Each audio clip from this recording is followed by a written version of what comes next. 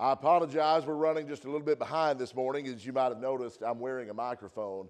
Uh, we are recording this series of classes, so that's the only reason I'm wearing one. Uh, and so I think in about two and a half years, this is the first time I've used one of these. I have no idea what I'm doing. So it took me a little while to get it all figured out, get it all sorted out, but it sounds like it's working. Uh, you may appreciate that. You may not. You may not like being able to hear me so well, but it is what it is, so we're going to roll with it. We are so very glad you're here with us this morning. We're continuing uh, our, our series about personal evangelism, how to go about reaching the lost, how to go about reaching out to people, st- setting up studies, what to do during those studies, those sorts of things. Uh, of course, Kinley and Jake have done a great job the last couple of weeks. It's my turn today. Uh, I'm not sure who's, at, who's the next up after me. I, I don't think it's me. If, if it is, I'm going to be real surprised. I'm going to look at that after class today. Uh, but I think uh, Jake may be up next week. I'm not sure. We'll keep kind of alternating, going back and forth on this. I'll tell you in advance this morning what we're going to talk about is a little bit dull, it's a little bit dry. All we're looking at this morning is how to set up your study. So, just some things you, you might uh, not have thought about, things you might want to keep in mind. Some of them are going to be incredibly uh, rudimentary, some of them may be things that wow, that's never occurred to me before. That's something I never thought about. Uh, we have a lot to go through. I don't know that we'll get through it all.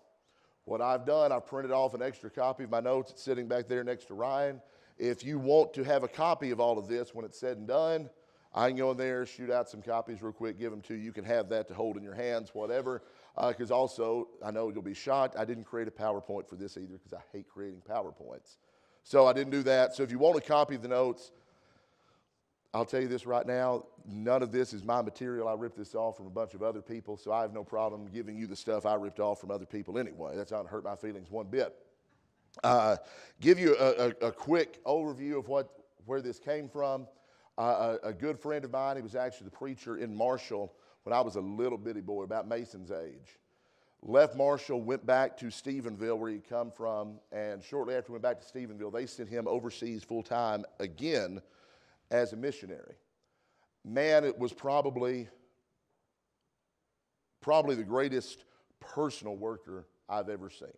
As far as his ability to sit down with someone one on one, study the Bible with them, and lead them to Christ. Phenomenal, phenomenal skill set he had in that regard. Consequently, he's got his own Bible study that he put together specifically for that purpose. He's got uh, a couple of different DVDs out there through World Video Bible School. He's written some books about this. Uh, he's since passed on. He's been passed away now. For, he passed away about 20 years ago or so, I guess. But most of what we've got here comes straight from uh, the guy's name is Bobby Bates. Most of this material comes straight from Bobby Bates, from the things he said. Uh, some of it's been adapted. His, his approach was more a cold call. You go knock on somebody's door, a complete stranger, and how to get in the door with them and sit down with them for a Bible study. We're operating under the assumption that whomever we are studying with is someone you know personally. It's a, uh, a relative, it's a neighbor, it's a coworker, it's a family friend, whatever. So we're, we're, we're skipping past some of those things he had where you're trying to uh, talk to a complete stranger and get your foot in the door to set up a Bible study with them. We're assuming you know this person, you have a great relationship with them, and they have even agreed to have a study with you. And so we're approaching it from that point of the things we need to cover, things that need to be addressed uh, as you go into that study. Now, as you think of all that, before you ever even start the study, before you ever even get to their house, before, or wherever it is you're having the study, there's some things you need to do, some preliminaries to the study. The first thing that is strongly recommended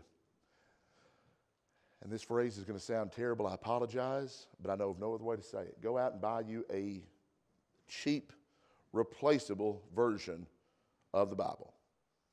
And the reason for that is I'm assuming a lot of you either have lots of things marked in your Bibles already, or you might be one of those people that, for whatever reason, you do not want to, to mark, highlight, write whatever in your Bible. There are people like that out there, and that's, that's great, that's fine.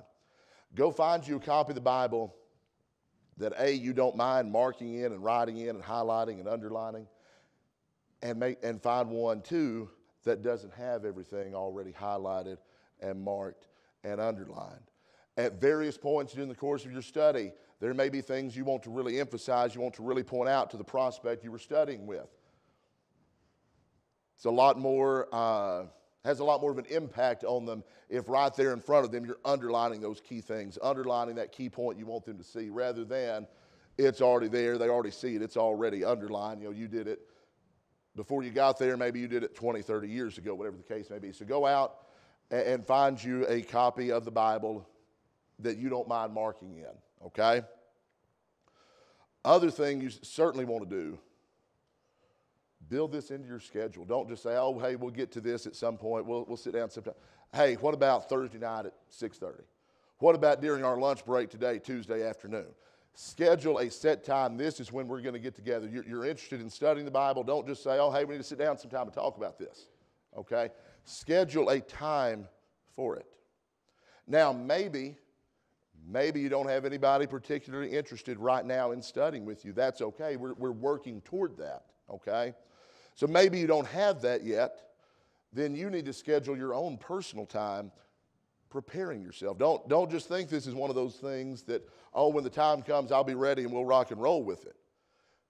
This is a skill that has to be developed just like anything else. If you spend time developing that skill, practicing that skill, honing that skill, you're going to be better at it. I guarantee you, set up a Bible study with someone the first time you do it, there's going to be things you leave that study.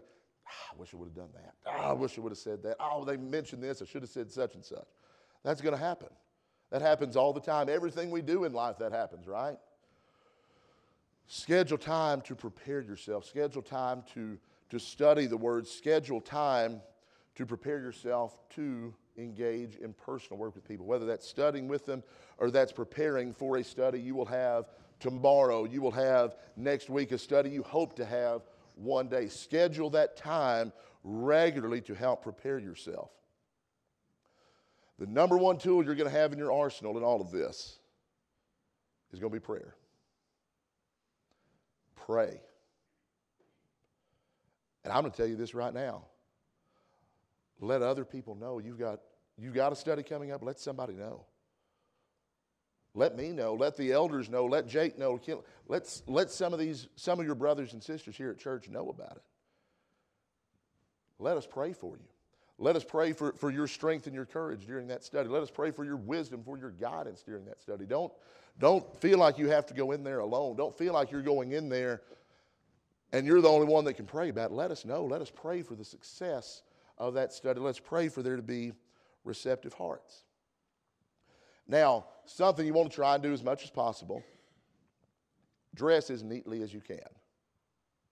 And what I mean by that very simply, excuse me, what I mean by that very simply, you know, for example, if I'm going to study with one of our football coaches and hey, we're going to study, as soon as we get off the practice field Tuesday afternoon, we're going to study. Well, I'm not going to come in and go in and take a shower and put on you know, some khakis and a polo shirt and get all fancied up just for us to sit there in the coach's office and study the Bible. That, that honestly, I think that'd be a waste of time.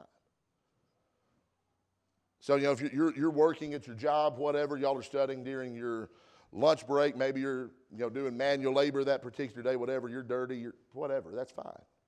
Now, if you set up a study at some point, you know, hey, we're going to go over here to so and so's house, we're going to eat supper. Don't show up, just dress like a slob. It, this is important. What you're doing is important. Show up like show up dressed like it's important. You want to present the appearance from the very minute you walk in that what we are doing is critical. What we are doing is essential. It is valuable. You don't want to walk in as much as possible and say, oh, yeah, I just threw on some clothes, whatever, you know, that sort of thing. Dress like it is important and they're going to treat it like it's a much more important event. Other thing you want to do, and this is a personal, the, the, the more I talk, the more y'all get to know me, y'all are going to find out just how crazy I am, okay? Have something to freshen your breath with. Every, every Sunday I come to church, I've got a package full of Altoids in my pocket. My mortal fear is that you and I get in a conversation. Y'all already know that. Secondary to that is that we're going to get in a conversation and my breath is going to stink. And the only thing you're going to be able to focus on is, my goodness, his breath is terrible. When's the last time he brushed his teeth? I, am I'm, I'm not lying about that. I, have got every pair of jeans I have, I've got a, a small package of Altoids sitting in it. Every suit coat I have has a package of Altoids in it.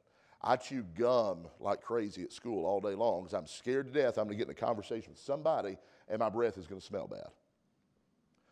Now, y'all know what I'm talking about. Y'all have had those conversations with people that they get right up close to you and you're thinking, my goodness, when did they, what did they eat and when did they eat it? That is terrible. And you can't focus on anything they've got to say. You can't follow any sort of thought process. All you can think about is, I cannot wait to get away from them because this smell is just absolutely horrid. You don't want that to happen. You want the people you were studying with, you want them to be able to focus on the Word of God and nothing else. Carry with you some breath mints, some Tic Tacs, some Altoids, uh, I've, I've got a little bit of a cough going on this morning. I've got a throat lozenge in my mouth right now. So if you come talk to me, it's going to smell kind of cherry, kind of medicine but it, you're going to smell that. You're not going to smell nasty breath, all right? Whatever it may be, have something there so that people aren't focused on how terrible your breath is. now, this is both a safety issue and something to increase the efficiency of the study. Go with a partner when possible. You recall Jesus originally sent out his disciples two by two, right? Pretty good model. Now, we live, unfortunately, in a very crazy world.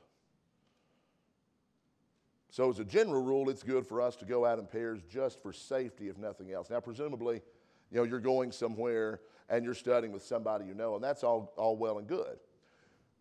Presumably, you're going to be in a safe environment. You still want to take a partner with you if at all possible. That partner could be your spouse, it could be somebody else. It doesn't matter who the partner is, but you want to take a partner with you. And we'll, we'll get to the, the, the purpose of the partner here uh, in just a few moments. Now, let's say you go to someone's house, you're visiting with them. Maybe you go to someone's place of business, whatever, you're studying with them. Very critical point here be very mindful of where you park your car.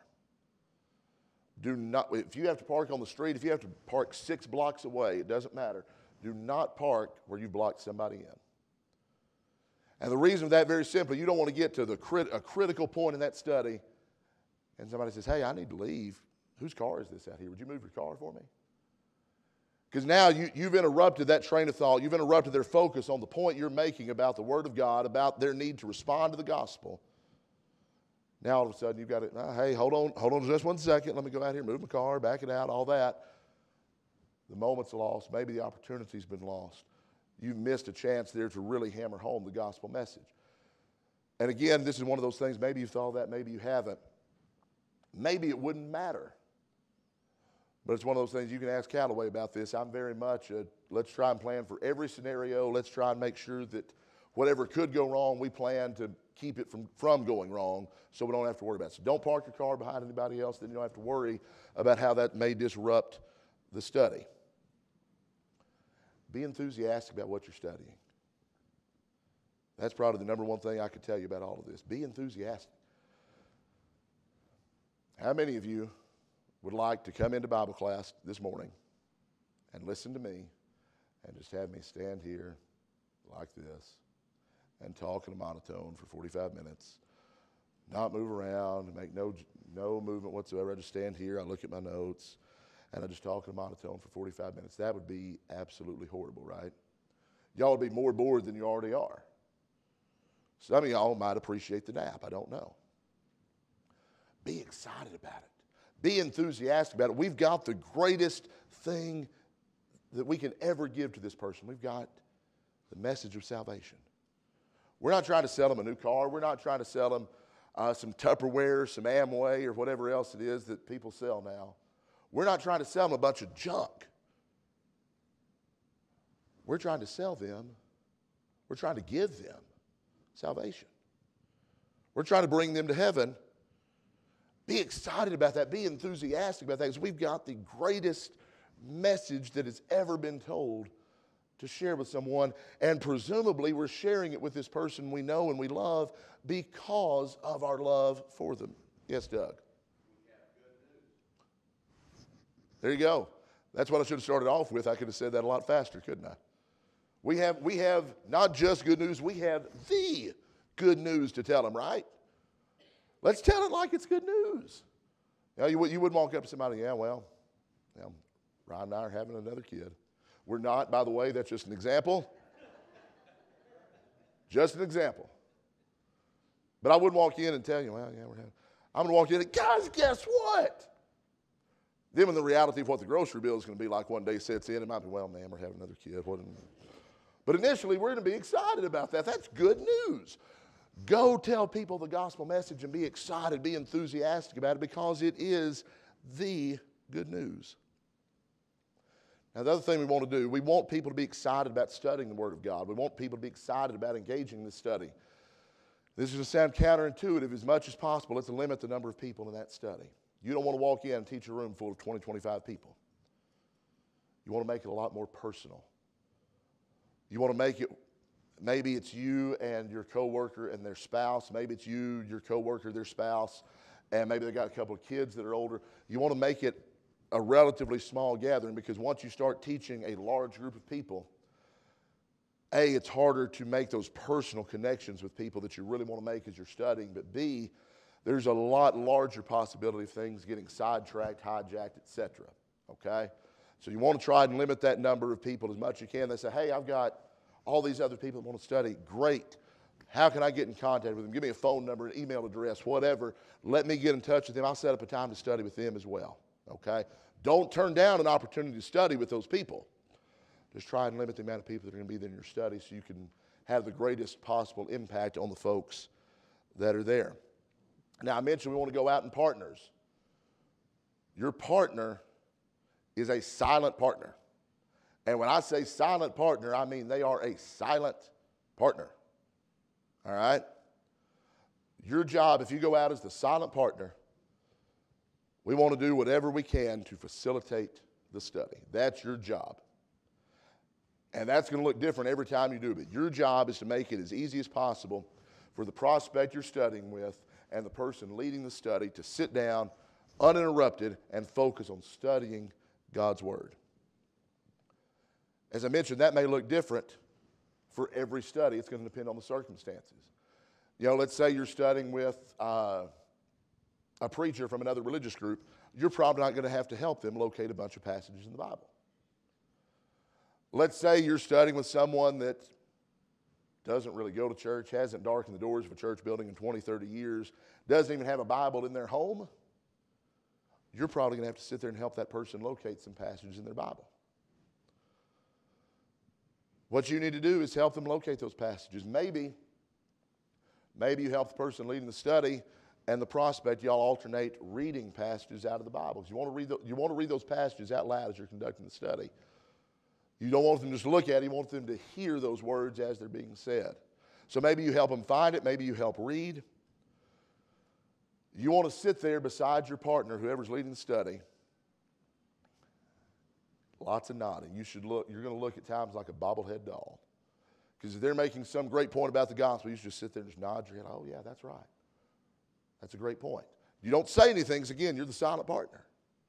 But you want them to understand, yes, yeah, what they're saying is correct. You're, you were there to support, you were there to encourage, you're there, again, to facilitate the study however possible. You're the silent partner. Don't look bored. I don't care if you are. Don't look it. Look like you need to look every second of that study like you were just hanging on every word that your partner is saying. You need to look, again, this goes back to enthusiasm. You need to look like this is the greatest thing you've ever heard. This is the greatest thing you've ever been a part of. You need to look happy. You need to look enthusiastic and excited throughout the entire study. Now, again, yes, sir.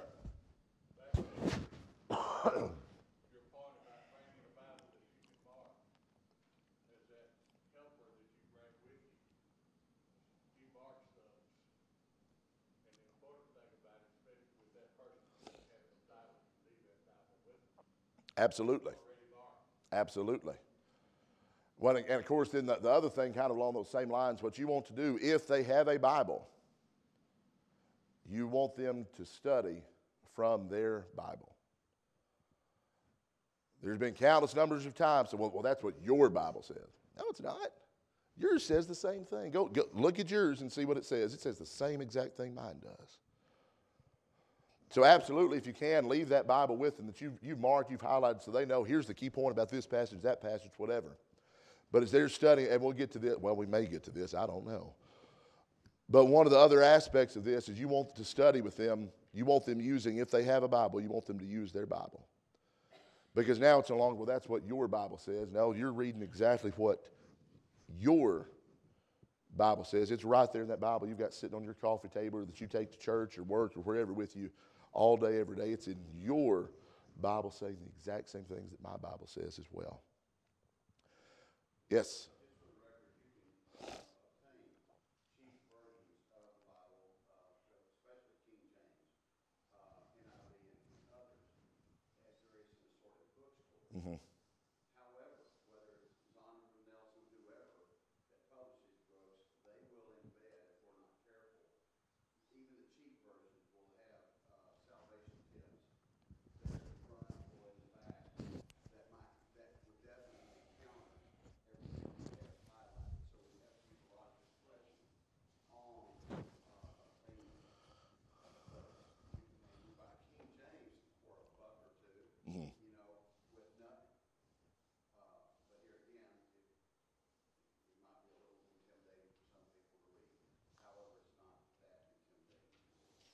Yeah.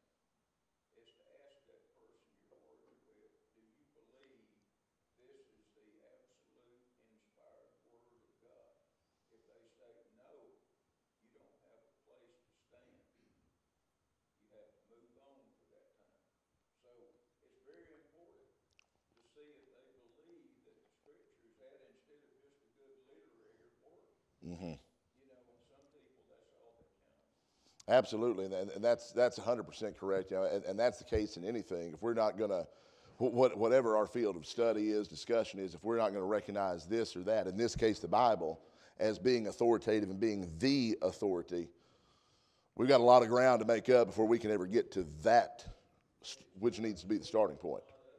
Yeah, exactly. All right, so real quick, trying to wrap this up about the silent partner. I'm going to, so I've got a stack of notes here. We're wrapping up page one. So we're, we're not going to cover all of this. I said, I'll make copies for you if you would like them. Uh, just let me know before you leave today or email me, text me later in the week, whatever. Your silent partner, every chance you get, pray. Pray for the success the study. Pray for that uh, prospect's heart to be softened to, and receptive to the gospel. Pray for wisdom for the person leading the study.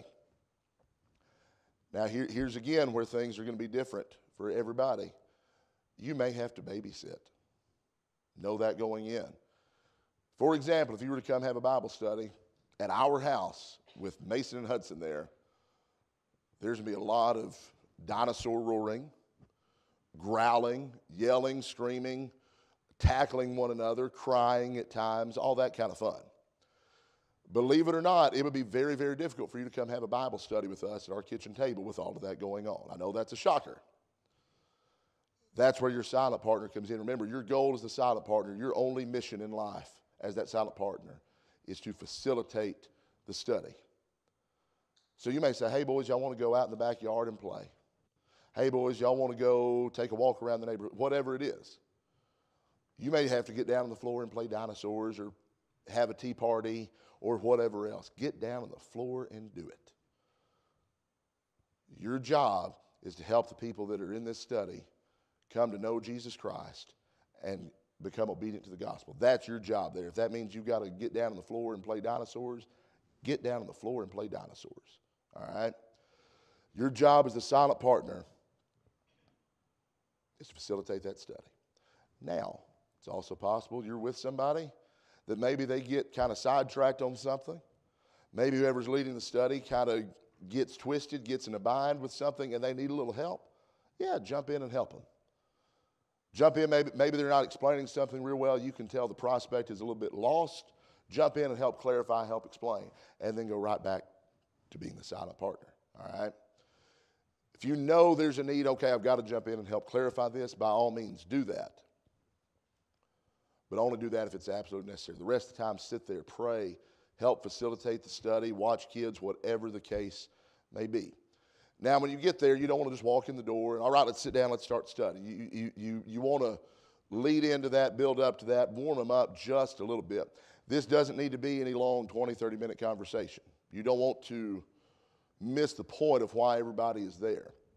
So let's say you go to somebody's home, find something there to compliment. I don't care what it is.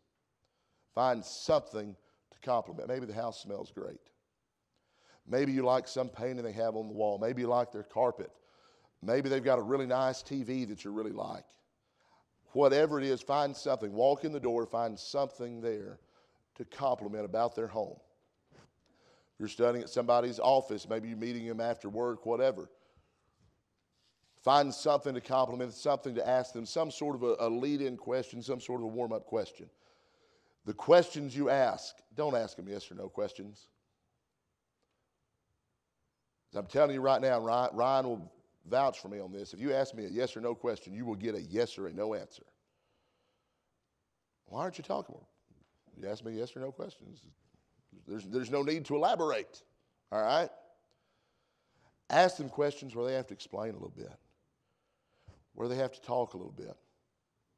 As I will tell you this what is the number one topic in the world that people love to talk about? Themselves, right? Whether we want to think about it or, or admit it, deep down inside, places we don't talk about at parties, every last one of us, to some degree or another, has a little bit of vanity and a little bit of selfishness inside of us. And we love to talk about ourselves. We love to talk about all the wonderful things we've done, all the cool places we've been, all the interesting people we know, all the th- wonderful things we can do, how talented we are, whatever it may be. But we like to talk about ourselves. Ask them a question about themselves, more than one that's more than just a yes or no question. Get them a little warmed up, get them to start talking to you. You want them to feel more comfortable talking to you, and I don't remember which lesson it came up in, but someone made the statement people don't care what you know until they know how much you care. You start immediately asking them questions about themselves, finding out more information about them, getting to know them better. What's their first thought? Why, they really do care about me, right? They're not just here to, to study with me, they're not just here so I can be another notch on their gun belt, as it were. They're here because they're really interested in me. They're here because they really care about me. They want to know about me. They're concerned about me. And that's the whole point of them being here. So make sure you go in, find something to compliment, find something you can ask them about, some sort of conversation piece, whatever the case may be. But here's the other part of that you want to find out more information about them because that's going to help you in the study.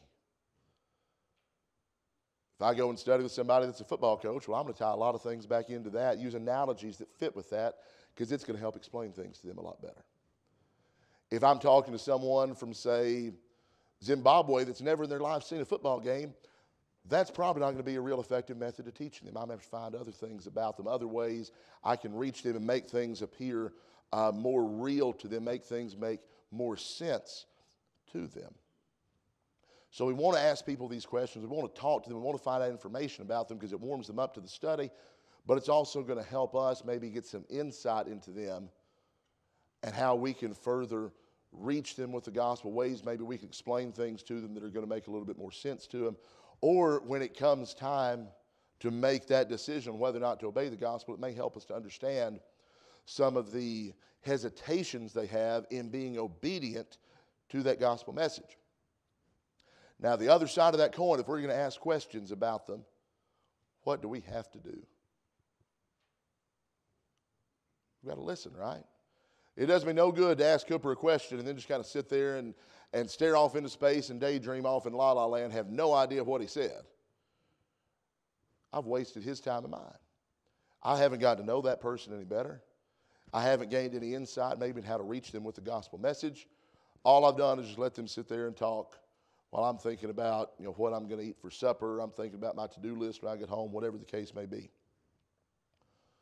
Listen, let them talk, ask questions where you can, where you can maybe lead the conversation a little bit farther, find out a little bit more about them. But the key thing in all of this is listen. Now, people are going to also tell you, especially go to someone's house, well, I'm sorry the house is such a mess. Don't acknowledge any apology like that. Skate right on past it, move on. Because as soon as you start acknowledging that, they immediately feel self conscious about whatever it is they've just apologized for. They're in their back of the mind thinking, oh, what do they think about the house? Or what do they think about this? Or what do they think about that? Don't pay any attention to that. Move right along from that. You don't want to in any way set them up from the beginning in a negative mindset. You want them to be receptive. You want them to be, you want it to be a warm and open, a friendly environment, not anything where they feel like they have to apologize, anything where they feel like they need to be defensive. Now, the other part of this, as I mentioned again, make this a relatively brief conversation. You know, don't, don't spend 20, 30 minutes talking to them about, you know, this painting up there on the wall or this you know, knickknack they have sitting over here on the counter. Talk to them a little bit, warm them up, find some information about them, listen to them.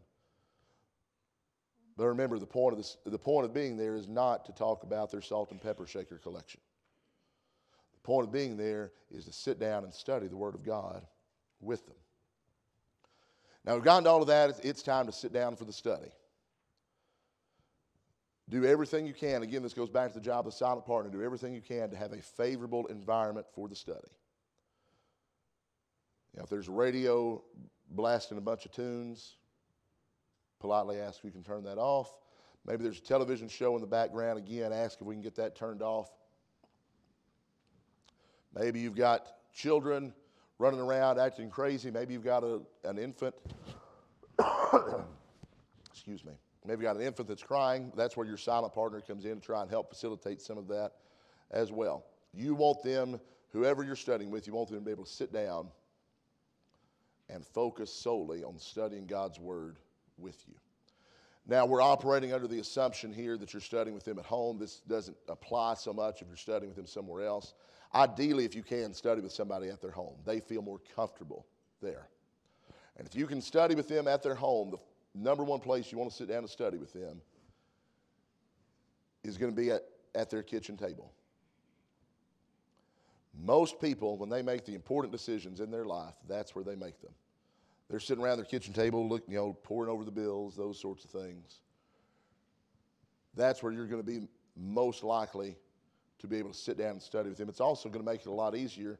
Uh, you know, for example, if you were to come to our house, try and sit in our living room, we've got a chair over here, a couch here, a love seat over here it's hard for me and someone I'm studying with to sit there together to be able to, to point things out in the Bible, to be able maybe to sketch out some illustrations for them, things like that, that they can see. I've got to sketch it out, get up, walk across the room, hand it to them. Hey, what do you think about that?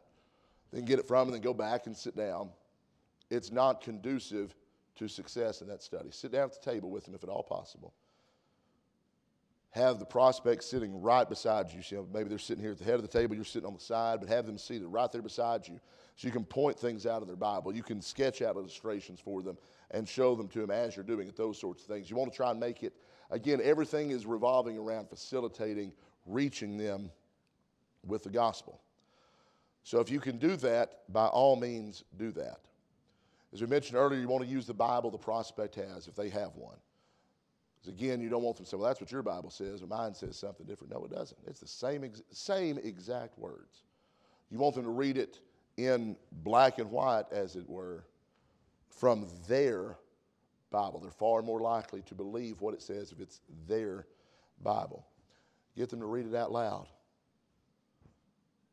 That's where you come in. That's where your silent partner comes in as well. Y'all can all alternate through reading those passages. If you've got more than one person studying with you, maybe you've got a husband and wife, what have you, have everyone that's participating in the study take turns reading those scriptures. It keeps them involved, it keeps them engaged in the study. And it's a lot harder for me to tune out something I'm reading if I'm the one reading it rather than listening to somebody else reading. Somebody else, you know, Kevin's reading something, I may kind of zone out, tune out, space out. I have no idea what he's read. If I'm reading it out loud, I'm, a lot, I'm going to listen a whole lot better. But then also, if you say, hey, I want everybody to read this passage, okay, what did you think about this? Well, did you really read it? Do you know how to pronounce that word? Do you know what that word means? There's a lot more room for, there's a lot more variables available there when you have everybody read it silently. So you want people to read it out loud. Now, the other part of all this, what is our end goal in all of this? Whether it's you know, the first time we sit down and study, with, it's the tenth time we sit down and study with this person, what is the ultimate goal of the study? To save their soul, right? We want to start from the very beginning of the study. We're not trying to push anybody into anything. We're not trying to sell anybody anything. Don't misunderstand me here, okay? We're not trying to trick anybody. We're not trying to sell anybody anything. We're not working on commission here.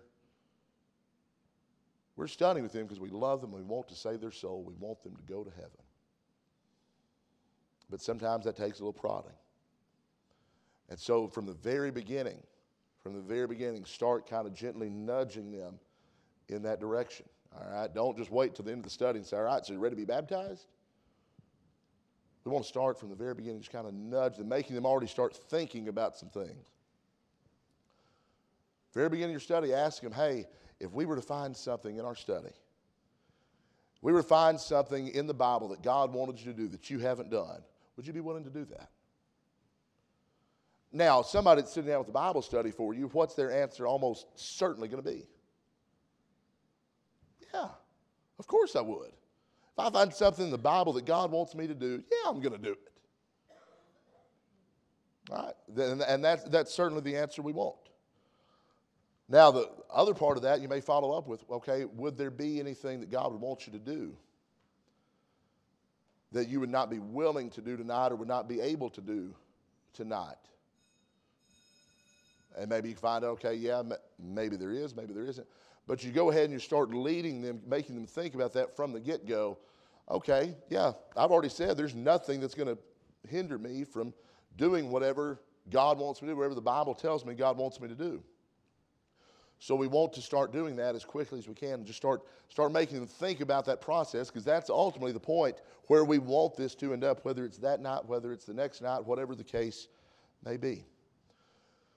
As much as possible, use the prospect's name, first name, and use it every time. You know, hey, Kenley, what do you think about this? Kenley, would you read this for me? Kenley, what's, what's this passage telling us here? Now, the reason for that, A, it increases your familiarity. You know, if, if I keep calling him over and over. I say, hey, Dover, what do you think? Or I say, hey, Mr. Kinley, or hey, Mr. Dover. It, it does, it's not indicating the same kind of relationship there. You want to use that first name basis, it increases familiarity. Subconsciously, it increases those bonds of relationship between you and the prospect. The other thing it does, it keeps your attention. How many of you ever sat in class at some point, you're sitting there, you're kind of off in la la land, and all of a sudden the teacher calls out your name. You jump and you panic a little bit, right? So where are we? What are we doing? What am I supposed to be doing right now? Uh, maybe, maybe that was just me in school. I don't know. I still today, it, anytime I'm somewhere, I hear somebody go, Perkins. It startles me a little bit. Now, in the middle of a discussion, middle of a class, middle of a study, whatever, that's going to immediately get my attention right back. And if that's happening over and over and over again, hey, Matt, what do you think about this? Matt, read this for me. I don't have time to daydream. I don't have time to drift off and get lost. I've got to stay focused and locked in every step of the way. Here's the other thing people like to hear their name, people like to know you're talking to them. Again, that goes back to that part inside of us. It's kind of vain and selfish. We like for people to talk about us and talk to us and think we're important. It makes us feel good.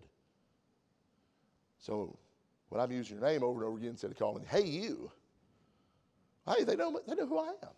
They know my name. I am important to them. You definitely want to do this when you're trying to emphasize an important point. Now, Kinley, the Bible says right here to do this. Or, Kinley, what, what does this say right here? Because you want to draw them in, you want to make sure they're locked in, make sure they're focused on that. We want to try and emphasize areas of agreement. We're not here to be argumentative, we're not here to be a jerk. We're here to lead somebody to Christ, and that's not going to happen by us walking in there and telling them how ignorant they are, how foolish they are, how they don't know anything. No. Find places where we agree. The only place we may agree, as Brother Charles was talking about a minute ago, we may only agree that the Bible is God's Word. We may disagree about everything else. Well, hey, let's emphasize that point of agreement we have and let's use that as a building block. Maybe there are other things we agree on. Okay, great. Now we've built an even stronger foundation. Now let's build off of that. We want to find areas where we can agree. How many of you, I want a quick show of hands, we're about to have to wrap this up. How many of you, one of your fears in engaging in a one on one Bible study, I want you to show your hands right here. Your number one fear in all of that is they're going to ask you a question you don't know the answer to. Okay, there's a lot of you. I got several people, I'm not going to raise their hands, but several head nods too.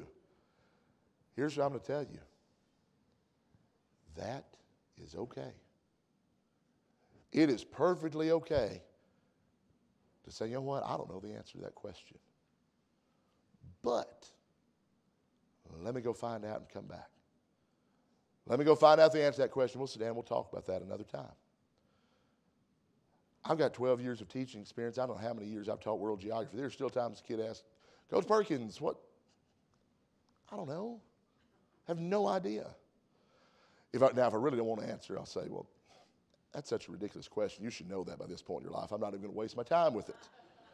Or I'll turn to the smartest kid in class, hey, Jimbo, what do you think about this? And let them answer, you know. You don't want to do that in your study. It's okay to say, hey, I don't know, but I'll find out and I'll come back and we'll talk about that. Don't be afraid to say, I don't know. If it's something we're going to cover later, tell them, hey, it's a great question. Let me write it down. And we're going to get to that in just a little bit. Just hang with me, just be patient okay? Time is up. There's where I am right now. There's really no good way to end this. Uh, like I've, I've got nothing right here to kind of wrap this up. I will tell you this, guys. The, one of the most important things you're ever going to do in your life is to sit down and study the Bible with someone that needs to come to know Jesus Christ. That's the whole point of this class series we're doing right now is to help us all to develop those skills and more importantly to develop the confidence to go do it. As I told you, if you want a copy of any of these notes, I'll be happy to give them to you. If you need a copy, want a copy of any of these resources that we have, we will get you or give you whatever you need. Let's go ahead in our hearts, our minds, let's focus on the goal here, and that's to bring the lost to know Jesus. Let's use this opportunity every time we get it Sunday morning to study that, to learn about that, and learn how we can do that more effectively.